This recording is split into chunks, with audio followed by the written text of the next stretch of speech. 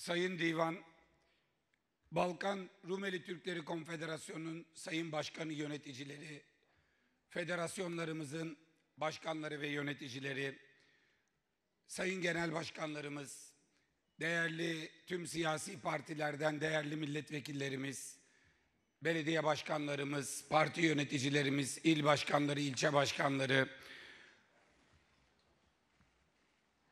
benim nasıl selamlayacağıma karar vermek için hiç düşünmeden hitap edebileceğim değerli akrabalarım. Hepiniz hoş geldiniz.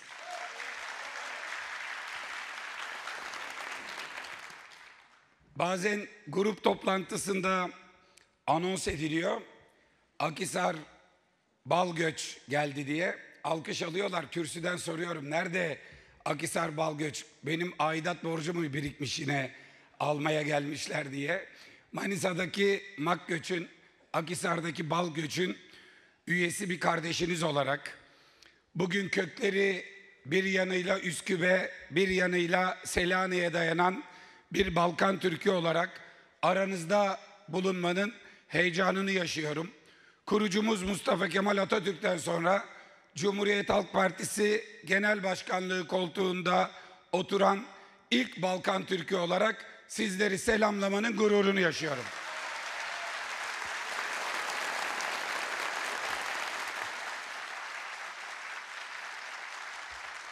Bir evladı Fatihan olarak bu ailenin bir parçası olmak gerçekten çok önemli. Pek çok toplantı olur. Çok farklı siyasi partilerden katılımlar olur.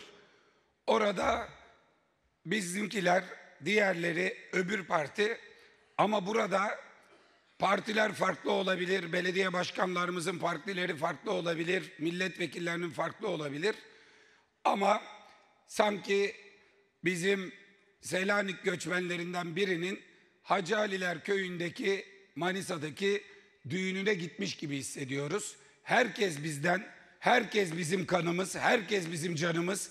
Hepinizi bir kez daha en içten sevgilerimle selamlıyorum.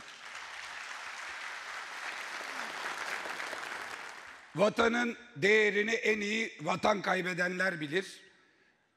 Vatan kaybetmenin ne demek olduğunu en iyi bizler biliriz. 550 yıllık tarihi bir bilemedin iki bavula sıkıştırıp alıp onu gelmek, gurbet ellere gelmek, oralarda tutunmak, oralarda çalışmak, oralarda özünü kaybetmemek, geldiğin yeri unutmamak, vardığın yerin hem parçası olmak hem de tutkalı olmak, o ülkenin birliğine, bütünlüğüne, barışına katkı sağlamak. Aç da kalsa, işsiz de kalsa, yoksul da kalsa suça bulaşmayı aklından dahi geçirmemek. Acından ölse de dilenememek ama bir aç varsa bir somun ekseğini ona bölmeden yanından geçmemek. Balkan Türk'ü olmak demek böyle bir şey demek. Bu yüzden bu organizasyonu çok önemsiyorum. Konfederasyonun federasyonları var. Edirne'mizde var, İstanbul'da var, Sakarya'da, Samsun'da, Adana'da, Ankara'da, Eskişehir'de, Bursa'mızda ve İzmir'de. İzmir'de de beş tane var herhalde. Her birisiyle temas halindeyiz. Kimine gidiyoruz geliyoruz. Kiminin üyesi derneklere aidat ödüyoruz. Kimini Ankara'da ağırladık. Kimiyle dünyanın öbür ucunda kuzaklaştık. Ama bu federasyonlar, bu konfederasyon, illerdeki dernekler, şu yaygın coğrafyadaki dernekler gerçekten hem bizim akrabalığımızı unutmamak, birbirimize sarılmak hem de orada bulunan akrabalarımıza sahip çıkmak açısından son derece önemli.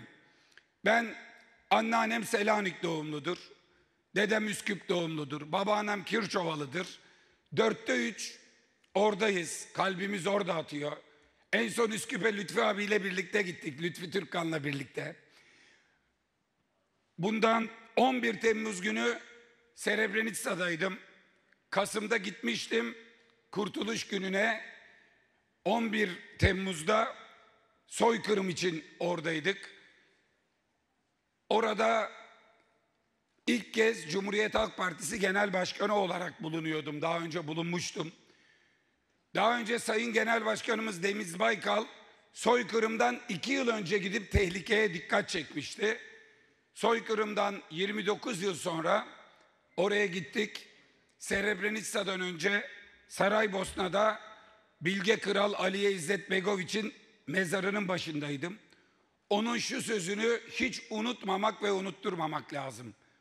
Unutmaya dair diyor ki, unutulan katliamlar, unutulan soykırımlar tekrarlanır diyor. O yüzden Bosna'yı, Srebrenica'yı unutturmamak gerekiyor.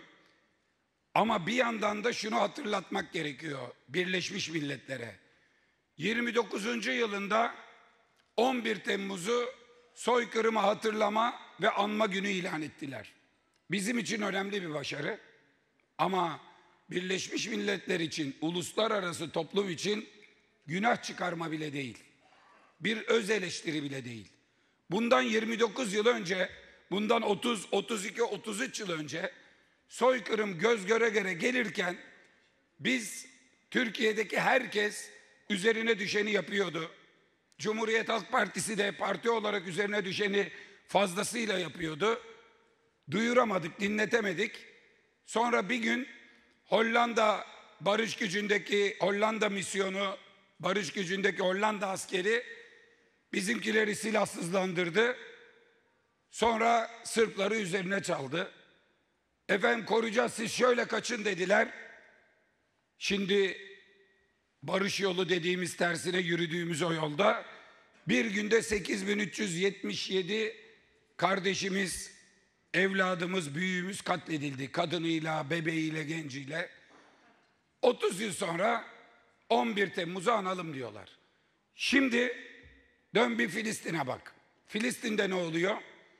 Filistin'de yüzde yetmişi kadınlar ve çocuklar olan Filistinliler İsrailliler tarafından hem de Hamas'ın yaptığı bir saldırıya, terör saldırısına misilleme diye başlatan, meşru müdafaa diye başlatılan bir süreçte katliam yapıyorlar, soykırım yapıyorlar, devlet terörü yapıyorlar. Bütün dünyanın gözü önünde 40 bin kişiyi katlettiler. Savaşta olmayacak şeyleri yapıyorlar. Savaşta savaş suçu olan şeyleri yapıyorlar. Ambulans vuruyorlar. Üzerinde hilal olan çadırları, seyyar hastaneleri vuruyorlar. Kadınları, çocukları şurada toplanabilirsiniz, orada yemek olacak, güvenli bölge olacak diyorlar. Güvenli bölgeyi vuruyorlar. Ve bunu yapanlara karşı ben Cumhuriyet Halk Partisi Genel Başkanı olarak dört ay önce seçildiğim Sosyalist Enternasyonel yani Avrupa'daki sol sosyal demokrat bütün akraba partilerimizin üyesi olduğu Sosyalist Enternasyonel'de başkan yardımcısıyım. Aylardır Pedro Sanchez'i İspanya Başbakanını yüreklendirdik, talep ettik, yazdık, söyledik. Nihayet çok doğru bir iş yaparak kınadılar. Kınayan İskandinav ülkeleri var. Dünyada çok sayıda ülke kınadı ama halen daha büyük çoğunluk kınamadı. Ve geçtiğimiz gün Amerika'da Temsilciler Meclisi'nde bir baktık Netanyahu denen bebek katili birileri tarafından avuçları patlarcasına alkışlıyor, alkışlanıyor. Ben buradan 29 yıl önce Bosna Hersek'te yüreğinin yarısı yanmış hala daha yanmaya devam eden hepimiz adına bir kez daha uluslararası topluma Filistin'deki mezalimi bitirmek, oradaki soykırımı sonlandırmak üzere inisiyatif almaları için çağrıda bulunuyorum.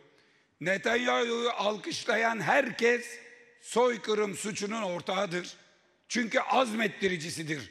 Devam edebilirsin demek, biz seni görmeyeceğiz demek, arkanda duruyoruz demektir. Netanyahu'yu o soykırım suçunu işleyen Filistinli bebeklerin kanı elinde olan Netanyahu'yu Alkışlayanları kınıyorum elleri kırılsın. Elleri kırılsın.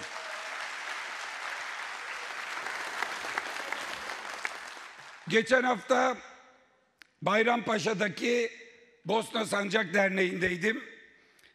İnanılmaz keyifliydi. Börekler yedik, mantılar yedik. Keyifle sohbet ettik. Sonra aşağıda bütün üyelerle birliğe araya geldik. Yakın zamanda yine İstanbul'daki çok sayıda derneğimize, yöneticilerimize ziyaretlerde bulunacağız. Biraz önce konfederasyon başkanımızın Bulgaristan'daki ve Yunanistan'daki sorunlara ilişkin söylediği son derece önemli meseleleri partiler üstü bir şekilde ele almalıyız. Ben buradan AK Parti'nin çok değerli belediye başkanları var. Ee, İyi Parti'nin, Milliyetçi Hareket Partisi'nin kıymetli milletvekilleri var. Biz bu hafta içinde ümit ediyorum mecliste bu konuda bir çalışma komisyonu kurulması ile ilgili bir girişimde bulunalım hep birlikte. AK Parti ile de temas edelim. Çünkü bu meselede Türkiye'nin tek yürek olması lazım, tek yumruk olması lazım. Siyasette kavga olur ama siyasette olur. Akrabalar arasında dayanışma olur. O yüzden bu sorunların çözülmesi için e, üst düzeyde dernek e, çalışmak gerekiyor. 1995'te 231 azınlık okulu faaliyet gösterirken bugün Yunanistan'da 86 azınlık okulu var. Azınlık okullarının öğretmenleri Türkiye'den mezunlarsa veto edilmeye başladılar. Yani kendi eğitim sistemlerinden o tornadan geçmiş olsun istiyorlar. Buradan bir milli bilinç alıp da gidip oralara aşılamalarından endişe ediyorlar. Birkaç gün önce Heybeliada'da Lozan'ın 101. yılı yıl dönümünde İsmet Paşa'nın evindeydim. Batı Trakya'daki Türklerin bütün kazanımları, Balkan Türklerinin bütün kazanımları Lozan'a dayanır. İsmet Paşa'nın oradaki mücadelesine dayanır. İsmet Paşa oraya gider, müzakerelerin metinlerini takip edenler bilirler. En çok strese girdiği konular Balkanlardaki Türklerin hakları konularıdır. Çünkü dönüp de Gazi Paşa'ya, Mustafa Kemal Paşa'ya ne diyeceğini bilemediğinden işin o tarafını çok sıkı tutar. Bugün de Türkiye'yi yöneten herkesin, yarın yönetecek herkesin meseleyi İsmet Paşa kadar sıkı tutması lazım. Buradan sözümüze kıymet verenlere şunu söylüyoruz. Batı Trakya'daki müftüleri müftü olarak görmeyin sadece. Müftülük makamı elbette önemli ama onların sadece din öğretimiyle, ibadet özgürlüğüyle ilgili görevleri yok. Onlar oralarda seçilmiş kanaat önderleri. Onlar oralarda Lozan'da kazanılmış bir hakkın devamını sağlayan ve Türkiye'nin hepimizin orada varlığını, temsiliyetini vurgulayan çok önemli bir görev yapıyorlar. Yine oradaki STK'ları hemşeri derneği gibi kimse görmesin. Oradaki STK'lar büyük bir hak mücadelesi veriyorlar. Bulundukları koltuklardan güç alan değil, bulundukları koltuklara, makamlara, bulundukları ülkedeki soydaşlarımıza güç veren, kol kanat geren yapılar onlar. Ben bütün belediye başkanlarıma kapalı toplantılarda söylüyorum. Burada da söylemem gerekir ki Batı Trakya'dan bir STK'nın bir talebi varsa başımızın gözümüzün en üzerindedir. Çünkü onlar kendileri için bir şey istemez. Hatta geçen gün gülüştük İstanbul'daki belediye başkanlarıma dedim ki biliyorsunuz akraba kayırmacılığı yasak. Yani hiçbir yöneticinin bir akrabası bir belediyede göreve gelmesine tahammülümüz yok. Duyunca uyarıyoruz, istifa ettiriyoruz. Bir iki uyarıyoruz. Gökhan Bey sonuç alıyor. Almazsa ben arıyorum. Gerekeni söylüyorum, hallediyoruz. Bir tek akraba kayırmacılığına izin var dedim. O da benim akrabalar deyince baktılar böyle. Dedim ki Balkan Türkleri ne istiyorsa yapılacak. Dernekleri ne istiyorsa yapılacak.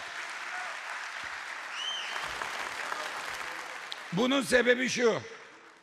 Bir Balkan Türkü derneğinin veya o dernekte çalışanın oradaki STK'lar olsun, buradakiler olsun. Ben kendi hayrına bir şey istediğini hiç görmedim. Hep toplum hayrına isterler. Yani gelip de eve akrabam benim çocuğu işe sok diyeni görmedim.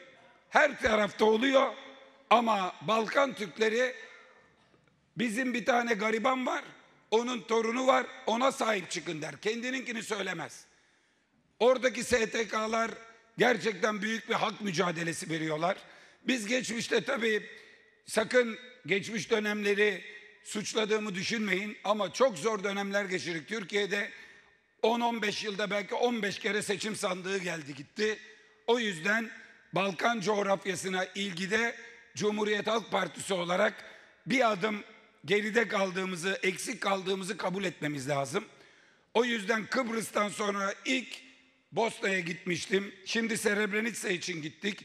Önümüzdeki bu yıl bitmeden önce bir büyük tur yapacağız. Yunanistan'a, Bulgaristan'a, Romanya'ya, Kosova'ya iyi bir plan dahilinde Karadağ'a mutlaka gitmek istiyorum. Sancak'a gitmek istiyorum. Oralara sahip çıkacağız. Talepleri dillendireceğiz. Etkimizi güçlendireceğiz. Hep birlikte bir büyük mücadeleyi sürdüreceğiz. Burada tabii ki özellikle söz gelmişken bu vesileyle Batı Trakya Türklerinin önderi Doktor Sadık Ahmet'i çok şüpheli bir trafik kazasında kaybettiğimiz Sadık Ahmet'i rahmetle anmak isterim. Yine Mümin Gençoğlu'nu rahmetli bu yapıların atası kabul edilebilecek ilk örgütlenmelerimizi hayata geçiren Mümin Gençoğlu'nu rahmetle anarım. Oğlu Turan abi, Turan Bey, Turan Başkan 10 yıldır babasından gelen geleneği e, çok büyük bir başarıyla sürdürüyor. Sağlık sorunları vardı. Bugün burada olamadı. Ben sabahleyin kendisiyle konuştum. Kendisine minnetlerimizi, sağlık dileklerimizi ilettim. Ona da bir kez daha sağlık diliyorum. Burada hepimizin üzerinde ortaklaşacağı bir husus var. Kimseyi doğrudan suçlamak istemem ama şöyle bir yaklaşımı da hep birlikte reddediyoruz. Balkanlar, Balkanlardaki soydaşlarımız, akrabalarımız Türklerdir. Kendi yaşam biçimleri vardır.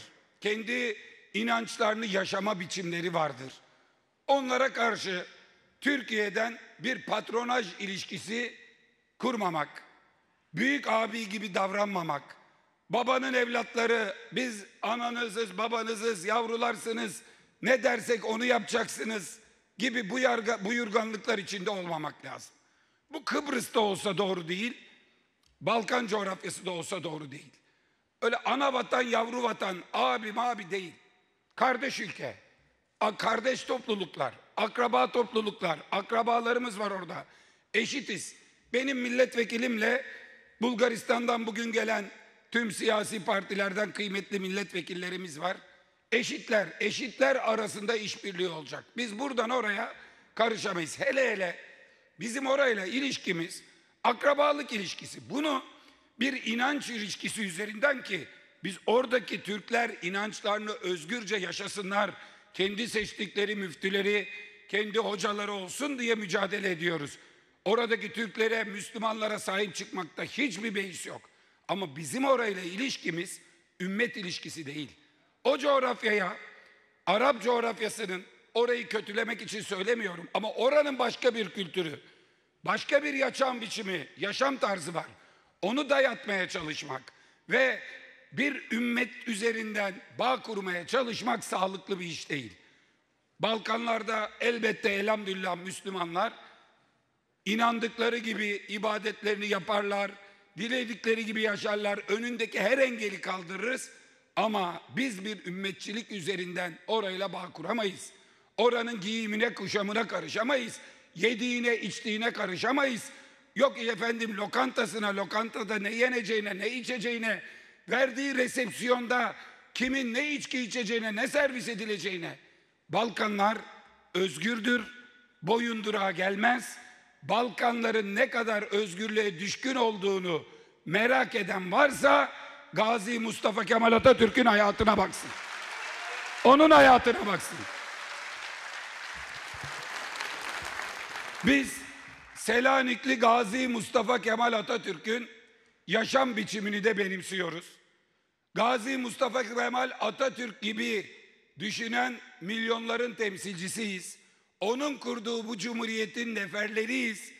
Onun düşürmediği bayrağı düşürmemek için, dalgalandırmak için mücadele ederiz. Hem burada hem Balkanlarda bunun birer neferiyiz ve bunu kimsenin bambaşka hesaplarına alet etmeyiz.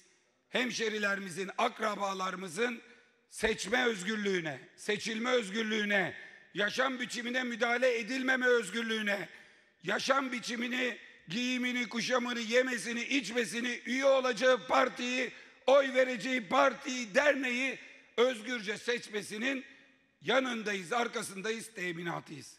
Ha oradakilere buyuramayız ama tavsiyemiz şudur. Oralarda birbirinize sıkı sıkı sarılın. Ayrı düşmeyin. Ayrı da olunsa ortak menfaatlerde bir araya gelelim. Çünkü orada da burada da bizim dostumuz, bizi koruyacak olan, kollayacak olan yine bizleriz. Biz hepinizi bir bütün olarak seviyoruz. Bir ve birlikte görmek istiyoruz. Bu duygu ve düşüncelerle uzaktan buraya gelmiş olan herkesin ayaklarına sağlık. Bugün burada gelip düşüncelerini söyleyecek herkesin ağzına yüreğine sağlık. Sayın hocamın çok güzel bir toplantı yöneteceğine, buranın çıktıları ki arkadaşlarımız takip edecekler, bizim tarafımızdan en net şekilde değerlendirileceğine emin olun. Parlamentoda başta ben, bütün milletvekillerimiz ve inanıyorum ki diğer partilerdeki arkadaşlarımız emrinize amadedir. Ne yapmamız gerekiyorsa en iyisini yapacağız. Bir evladı Fatihan olarak sizlerle birlikte olmaktan, sizleri Gazi Mustafa Kemal Atatürk'ün kurduğu partide ikinci Selanikli Genel Başkan olarak selamlamaktan ve geldiğinizde ağırlamaktan büyük bir onur duyacağım. Hepinizi saygıyla selamlıyorum. Sağ olun, var olun.